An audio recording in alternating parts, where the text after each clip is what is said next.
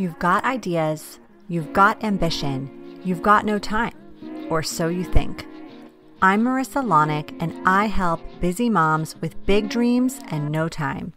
Join me each week as I dive into time management strategies, goal setting and achieving framework, and inspiring guests who are juggling mom life, work life, fill in the blank life.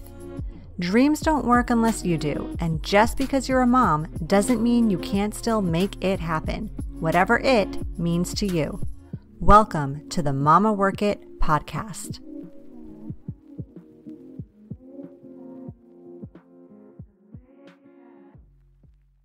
Hey, hey, mamas. Welcome to another episode of the Mama Work It podcast. So glad you're here. Our guest today is Celestina Brunetti. Celestina is the owner of Wellness Cucina, a virtual cooking platform where busy families can learn how to make quick, easy, and delicious dinners on the busiest of weeknights. Celestina is a trained chef and registered dietitian who created an easy to implement program for busy families looking to cook at home more. Now, as we record this, we are still living in the middle of the COVID 19 pandemic. So I cannot imagine a better time to introduce this topic and chat more about the benefits of cooking at home, as well as some great hacks to do it easily and efficiently. Celestina, thank you so much for being here today. Of course, Marissa. I'm super excited about this. Awesome. All right. Well, let's get started by just learning a little more about you. Tell us how you got started as a chef and a dietitian. So, food has always been in my life. Uh, in case you couldn't tell by my name, I'm super Italian. So, I'm sure you know this too. Just food is ever present, and that is most Italian grandmothers and parents' love language. So, yes. food has been ever present in my life, and culinary school just kind of seemed like the next step for me in some way, shape, or form, I wanted food in my life. And I was actually really bored in culinary school. So I took on, I guess the next level of it is the nutrition behind everything, right? So that like science aspect of it. So that is kind of how I learned to blend the worlds of the food that I grew up with that was lard and salt laden with lighter things uh, that you can like freshen up a dish with and completely transform it in a healthy way. Love it. Do you think you were bored because you just grew up like in the kitchen helping cook and watching your family cook and all that? That's part of the Italian culture and traditions. To some extent, um, a lot of it though was like the academic side of things. So we had culinary classes, but we also had academic classes. And I went to a college prep high school, and I was bored. Like I was really bored. okay, got it, got it. All right. Well, what made you want to help this specific community, busy families? What made you want to really target this audience and serve this this community? So, right out of culinary school, I actually started my own business where I was personal chefing for families. So, I was like, this is a perfect blend of nutrition, my love for nutrition, and my love for food, right? Like cooking for people. Uh, but I quickly realized that on days when I wasn't cooking for these busy families, that they were like rolling through the drive through using like uh, boxed helper meals or like calling for pizza. And i would always see it like leftovers in the refrigerator in, or in the trash and i'd be like oh my gosh they really don't know how to cook for themselves when i don't cook for them. So that's when i kind of shifted from uh, cooking for someone to teaching them the skills that they need to be able to keep this uh, as a sustainable thing so that they're not just relying on me for healthy food, but that they can do it themselves. Yeah, you're kind of teaching them to teach themselves a little bit. Love it. So, I'm a mom of four. I actually really like cooking, I enjoy it. But even still, sometimes I will say it's not easy. do you think it's possible for a busy family to cook at home? I 100% do. And it really breaks down to what your priorities are right? Like that's anything in life. You have to prioritize what's important to you. And if making that shift to cooking at home is important to you, your family, and the way you want to kind of develop, then yes, I do believe it is 100% possible. Okay, you're so speaking my language. Absolutely. Prioritization for the win. So, I'm curious, what are three things every family should have in their fridge or in their pantry to actually make this happen? Definitely. I think keeping it super, super simple a protein, a starch, and a veggie. I know that sounds so, so, so basic, but that's all you need. And like two of those things can be in your freezer. Really, all three of those things can be in your freezer, which I'll get to in a minute. But those three components can make a delicious meal in under 30 minutes, like every time. Yeah. So, some proteins that I like to have on hand, um, even in the freezer chicken breast, uh, like pork tenderloin, because those two are pretty lean and they cook up quick, um, and even fish to have in the freezer, because that can go straight from freezer into the oven and be done in like 20 minutes. So, protein wise, those are my go tos. Okay, interesting. I do always have fish in my freezer, but I don't cook it frozen. I always defrost it. So, tell me more about that. Yeah, just go frozen. It's literally that easy. Wow. Out of the freezer. Like if it's especially if it's skin off, like salmon fillet, for example, right? Take a salmon fillet. Uh, if you want some extra flavor on it, combine some honey, some mustard, or if you have honey mustard already, just shellac it on, for lack of a better word, and pop that in a 425 degree oven for 20 minutes until it flakes apart like you normally would fish. No need to defrost it. Oh my gosh. You just blew my mind. Throwing fish in the oven frozen. Okay. New life hack for me, for sure. So, same with like veggies, right? So, keep veggies in your freezer or buy frozen veggies. And that's something that can also cook up in like 20 to 25 minutes. Frozen broccoli is a go to in my house because my husband's obsessed with it for some reason. But it also makes dinner hit the table so much faster than having to like cut veggies from scratch because real talk guys like that's the hardest part right like the actual prep work of it so if you can cut that out and either buy veggies that are pre-cut because sometimes they have those available in the produce section You'll pay a little bit more, but it's going to save you a ton of time. Or just buy them frozen and they'll last forever until you need them. And that's something that you can literally just put on a sheet tray in a 425 degree oven and let them go. I do do that. I do buy the pre cut veggies often, and I never used to, but it is a huge time saver. Absolutely. I agree. Because we always have a vegetable with dinner. That's like a religious rule in this house. So it has helped tremendously to do that. But I don't typically do frozen, so I might have to try that. That might be an additional good good tip. Definitely. And I feel like there are a lot of stores out there. I'm not going to name stores since they're not necessarily uh, partners of this podcast, although they probably should be. Uh, there are stores out there that have veggies, like a variety of different veggies, so that you're not just eating frozen broccoli or frozen carrots. Like you can get a variety of different veggies and like they may have curry powder on them already. Cool, awesome. One less step. Um, but if you are just getting plain veggies from your local store, cool. Just pop them in the oven without anything on them. And then when they're done roasting, when they get that like nice golden, like brown color, just drizzle them with some olive oil, salt, pepper if you want to. And then that, at that point, you can add different flavors to it. So add different herbs, different spices, um, and a tip that I like to use for herbs and spices is smell your herbs and spices together. So, literally, like take two or three containers, sniff them all together, and if they smell good together, they're going to taste good together. Hmm, that's a great tip. I never thought to do that. Do you have any yeah. favorite herbs and spices that are like staples in your cabinet? Oh, 100%. Cumin, coriander, and ginger are like my go tos. Either Asian or Mexican, and both of those, like all of those flavors, go really well with like Asian cuisine or Mexican cuisine. That's good to know. Okay, awesome. And if you are using frozen veggies, you can finish it with like lemon zest on um, on the end, so it'll be a lot more refreshing and a lot brighter, so it won't taste like it was frozen.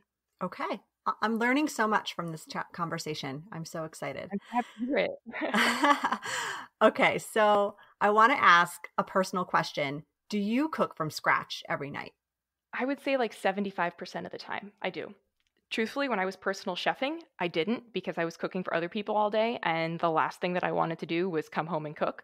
So that was a lot of frozen pizza, to be completely honest, uh, or just like going out to eat when restaurants were open. But now I would say, so I recently moved to um, to Germany, probably like five months ago now, six months ago, and we've been shut down for like three or four months, but I've also regained my love for cooking because I don't have to do it every day. So I actually enjoy cooking. So within the last couple of months, I've made fresh pasta like seven or eight times, and I haven't done that in two years. So I think, yeah, I'm finding my love for it again. So I am cooking for myself more, but still, I would say like 75% of the time. I mean, I definitely have frozen pizza in my freezer right now. Yes. yeah. So we all have those nights where we just we can't do it and that's okay, right? All right.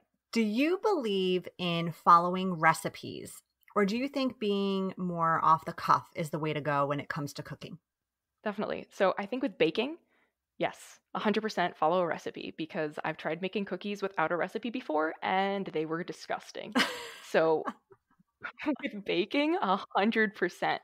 Uh, with cooking, I think if you understand the skill set behind what you're doing, like for example, the skill set behind making a soup or the skill set behind roasting a protein, if you understand that, you can cook anything. So you can look at an uh, you can look at a recipe for inspiration, but you don't necessarily need to follow that recipe to the T to make food quick, easy, and delicious. Okay, great. All right, uh, jumping over to another topic real quick. Do you or should you meal plan? And what are your best tips for meal planning? I think it really breaks down to what the family needs, right? Like if you are super busy every day of the week and you don't even have 30 minutes after you get home from work or you stop teleworking to your kid's bedtime, yes, I think you should meal plan because that's going to remind you that you have food ready in the fridge, like nutritious, delicious food in the fridge, rather than opting for like a drive through, ordering in, or choosing something out of your freezer. Those are okay sometimes, right? But like that shouldn't be your everyday all the time. So, yes, if your life is just super hectic during the week, yes, I highly recommend that you take some time and meal plan. However, Meal planning doesn't have to mean eating the same thing every day. It also doesn't have to mean that you make uh, everything in a crock pot and everything you eat that week is mushy. Um, it really breaks down to what I was explaining earlier the protein, the veggie, and a grain. If you have those three items, you can really do anything and have a variety of different foods that you're kind of mixing and matching throughout the week. So, like I said earlier, right? You you have the chicken, you have the pork tenderloin, you have the salmon. Cook all of those off in a 425 degree oven, maybe on different trays, but you can put them all in there at the same time. So they're all cooking at the same time. Um, if you are meal planning, though, undercook them a little bit because then when you reheat them, they'll be perfect.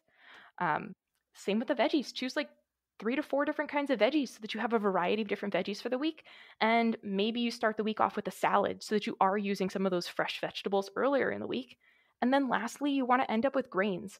I always recommend cooking a bunch of grains ahead of time, like rice, quinoa, farro, whatever you have accessibility to. Um, this can also mean like butternut squash, which comes frozen. Um, it also comes fresh, but it's kind of a pain in the butt to whack in half, you know? Um, if you can get it pre-cut. Yes, I've I've had a lot of challenging times doing that myself. yeah, the key is a really sharp knife, um, but it also comes pre-cut, so like you never actually have to do that.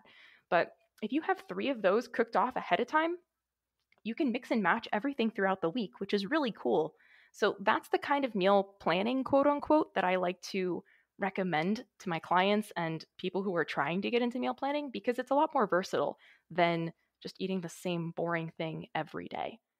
Yeah, yeah. You kind of have like this mix and match ability. I like that too because I find in the past, if I've meal planned too rigidly, where like, you know, on Monday we're going to have this, on Tuesday we're going to have this, it never works out in my house. It's just kind of like someone either doesn't want to eat that one day or, you know, gosh, whatever reason comes up. But yeah, I find that that doesn't work well. So I have like a loose meal plan that I think about, you know, maybe like these are the five, six things I'm kind of planning on making for the week. Um, and I base my grocery list around that. And then, depending on how we're feeling that day or what the schedule's like, how much time we have to dedicate toward cooking, we'll kind of adjust accordingly. And that works pretty well here. But totally. And I, I, like I said, it's really a family by family basis. So figure out what's going to be best for you, your family, and the amount of time that you have. And guys, if you have kids that are old enough, and old enough, I mean like five or older, teach them some skills so that they can actually help you in the kitchen. Because if yes. you're doing this with your family, you're going to feel less guilty about spending time cooking and not spending time with your family because you are spending time with your family. You're just doing a different activity. Yeah, marry the two worlds. Absolutely. I agree. Definitely. Okay, speaking of kids, what about picky eaters? Any tips? Like, I have a son who won't eat cheese. I can't even believe it because I'm like the biggest cheese lover out there. Um, but I know a lot of moms who struggle with kids, maybe who won't eat vegetables or something like that. And that can be really challenging. What tips do you have? Definitely. Uh, I like empowerment. So, giving two options um, and then allowing your child to choose between those two options. So, for example, let's go to veggies, right? Like broccoli or carrots. Those are two things they may or may not like, but if you just lay it out for them, like, hey, these are your two options. And if you give them the choice, they're going to be a lot more apt to be at least a little bit more open to trying something like that. So, empowerment is number one.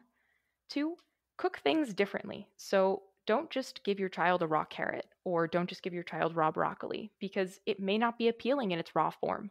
Try it steamed, try it sauteed, try it roasted. Like, try a lot of different ways to get them to eat these veggies. And I know it's time consuming. I understand. And I get how frustrating it can be because it, it really is. You feel like a failure when you're just like giving the same thing over and over again and they're not eating it. But continued repetition is really important. And if you feel like you're wasting food, just give one bite on the plate. It doesn't need to be a whole serving of it, but if you offer one bite and you encourage them to maybe just touch it at first, maybe then touch it to their lip, and then maybe maybe put it in their mouths at some point, uh, a couple of exposures down. They don't even have to swallow it at that point. Like they can spit it out, but just getting that, getting taking those small baby steps to really encouraging them to eat this different food um, those are some of my go to ways to do it. For your son and cheese, is it any specific kind of cheese or just all of the cheeses? Oh, it's all cheese. I mean, he'll eat pizza with cheese and some some foods that have cheese on them, but he's really a cheese hater. I don't know what happened. He used to like cheese. I hope this is a phase for his sake. and honestly, sometimes it is, but there are so many other foods out there that are also going to give him that protein and fat content that I wouldn't be too crazy worried about it. But um, yeah, I think if he sees you and your husband and the rest of your family like really amping it up and like enjoying cheese, is he one of the older ones or one of the younger ones? He's one of the older ones. Hmm. I was gonna say if he was one of the younger ones, like have the older ones like really encourage it. But I mean, I feel like you and your husband can probably continue to really encourage it, show them that you're enjoying it. Uh, maybe try different kinds of cheeses. Maybe he is a stinky cheese liker and doesn't like the like non-stinky cheeses. I don't know. Explore. There's so many different kinds out there.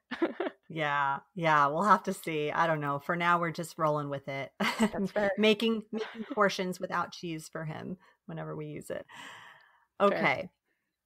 So tell us a little bit more about your course. You have a course on, you know, for busy families with regards to cooking at home and kind of making that simpler and able. So tell us more about that. Definitely. So my goal is to give busy families some guidance on one where to start with all of this because there's so much information out there, right? Like there are so many people saying, "I can help you cook easy meals." But like what it really breaks down to, as I mentioned earlier, is understanding the skill set behind that meal. So, with my course, it's basically like a miniature version of culinary school, but super simplified so that a busy parent can easily implement what they're learning into their daily routines. And then over time, it just becomes your normal way of cooking for your family and exploring different flavors together. So, we really focus on understanding the skill set behind cooking and uh, exploring the kitchen with your family, in addition to working on your family's mindset around food, especially for those picky eaters.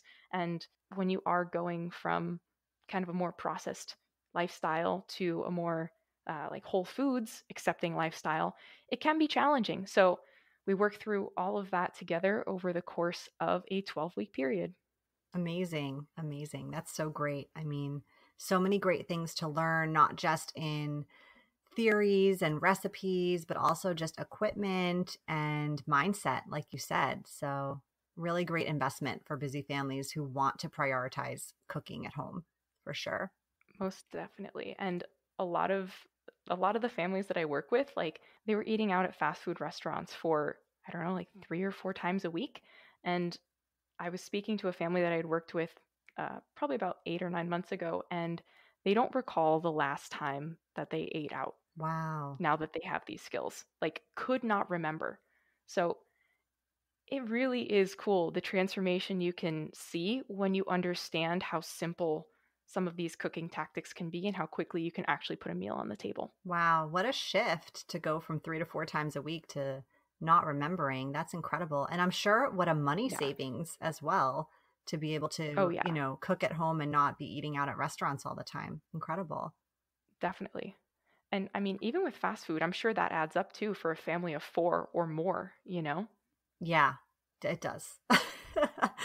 We're a larger family, so I can tell you that. Okay. Yeah. So, why do you think eating together at home is such an important element for families? I mean, there's obviously the health reason, but what are some other benefits to this? Especially at a younger age. So if you have like three or four year olds where you think that they may not be understanding the conversation, they're actually absorbing everything, right? So if they are at school, I mean, maybe not so much now during COVID times, but like when they are at school, they're only interacting with their peers. So they're having conversations at kind of a, a lower level, right? Like it's their age. Whereas if they have conversations with their family, they may have older siblings or they may have, um, they'll definitely have parents or maybe even grandparents there. The conversation is different. So they're going to see how adults interact with each other and what their conversations are like. So that's really where they have an understanding of the conversational dynamic. And that's how their vocabulary can grow and expand. And as time progresses, it's actually been seen uh, through many studies that their schooling is better when they have meals together with family. They they just happen to be doing better in school. Um, they have more confidence in school, and it also gives parents a really good time to to understand what's happening in their child's life. Right. So if you have that time for interaction, you can ask, "How is your day?" Your child may not answer fully, but I actually have a blog post about this that we can link to if you'd like. Just some more conversations that you can have that go a little bit further in depth um, rather than just how was your day right like you can look at highs lows um, i think it's called a rose a thorn and something else that you're like looking forward to the next day so this is just a great time to engage and i think that's why it's so important Yeah, I agree. We do prioritize eating dinner together as a family, I would say almost every night. And also for the moms who are struggling with getting their kids to actually eat dinner, because that is, you know, can be a problem as well. I find that when we're kind of deep in conversation at the table, they're eating without even kind of realizing it. And that's another added benefit that I really like to think of it too. It's like it's not so forceful, like you're forcing them to eat dinner, you're begging, you're pleading, or you're using the TV as a tool, you know. But I think when you're in these conversations, they're yeah, there's you're slipping bites in their mouth, or they're doing it without even realizing it, and that's that's another great win just from having these family dinners. So Most definitely. And if your kid isn't eating at dinner, they may have a snack time too close to dinner where they're actually not hungry. So that might be something to look at as well if that is a challenge that you may be facing. Good point. Yes, for sure. Okay, Celestina, I want to move on to our lightning round where I'm going to ask you some random, just for fun type questions so our listeners can get to know you a little more on a personal level. Are you ready? I'm so ready. Okay. My first question is What's your go to get shit done song? But I want to kind of rephrase it for you. What is the song you listen to in the kitchen when you're cooking that motivates you? My go to song is Unbelievers. Uh, and I believe that's by Vampire Weekend. And it just pumps me up.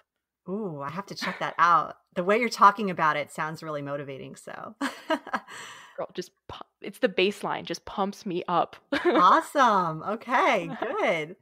What's your guilty pleasure TV show? So many. Um, New Girl. I've watched it probably seven or eight times full through. Oh, wow. It must be pretty good then. Cool. Okay. If you could only eat one food for the rest of your life, what would it be? Calories don't count. Pizza, hands down. No question. I'm a big pizza fan too. I hear ya. And you can really diversify it. It's just such a great food. oh, yeah. Neapolitan, New York. So many choices. yeah, agree, agree. What's your cocktail of choice? Uh, that is a French 75. I do not know what a French 75 is. Gin, lemon, uh, a little bit of simple syrup, and then you top off the, the glass with champagne. Ooh, okay. yeah, it sounds magical for sure. And finally, what is one app you cannot live without? Instagram. Got it. Yeah, it is pretty addicting. okay, so thank you so much, Celestina, for being on the Mama Work It podcast show today. Before we head out, why don't you tell our listeners where they can find you? Definitely. Uh, I am most active on Instagram, and my handle is at Save Time Cooking. I give like daily tips, so be sure to check me out there. And my website is wellnesscucinallc.com. Awesome. Well, thanks again, Celestina. Thanks for being on the show. Loved having you and loved learning all these great tips for busy families hoping to cook more at home. Of course. It was a pleasure, Marissa. You've been listening to the Mama Work It podcast. I hope you've enjoyed this episode and would love if you could take a quick minute to leave me a review on whichever platform you're listening from, and maybe even send a note to a fellow mama friend recommending it. Reviews and recs help this podcast grow and reach more like minded, awesome moms. And if you haven't subscribed yet, don't forget to click that button so we can stay in touch, girl. By the way, if you haven't checked out the Mama Work It website, please do. There are lots of free resources and great articles there that can help you with the juggle of work life, mom life, wife life, fill in the blank life. So head on over. Thanks again for being part of the tribe. I'll see you soon, but in the meantime, keep on working it, Mama.